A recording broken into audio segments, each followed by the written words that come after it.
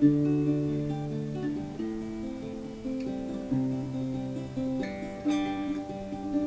you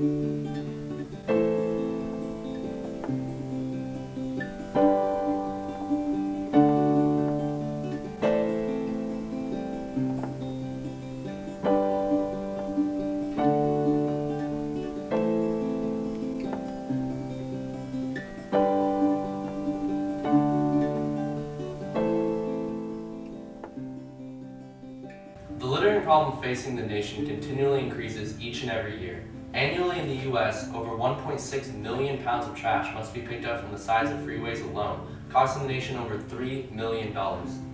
The average plastic or styrofoam container takes over a million years to decompose.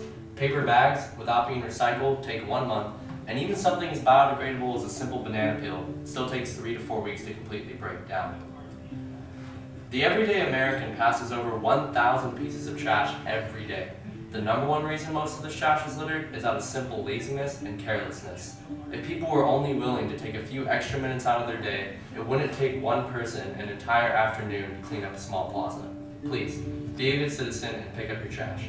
It's the right thing to do.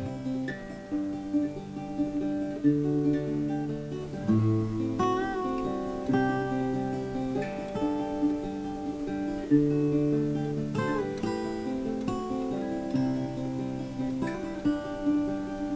-hmm.